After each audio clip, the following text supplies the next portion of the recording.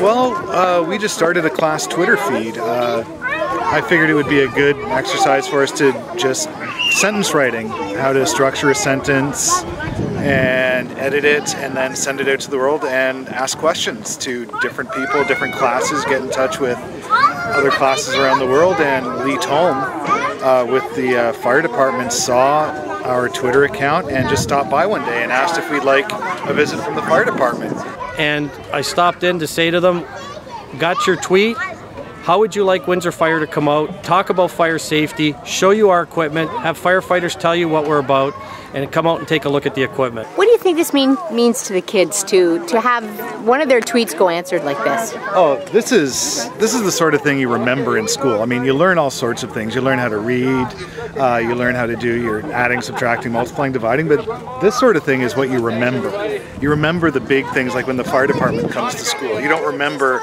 reading a long word for the first time. You remember when the firemen came. It's an opportunity for us, uh, the positive side of social media, to show how it works, what Twitter can do, and how fast things can happen.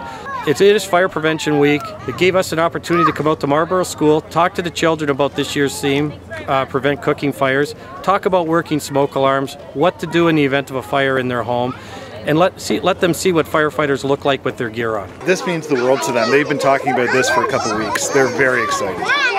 What did you learn from the firefighters?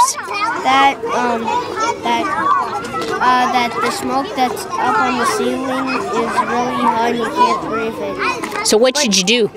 Down, uh, crawl, and um, if you if your clothes are on fire, stand still, go on the ground, and roll back and forth on the flames.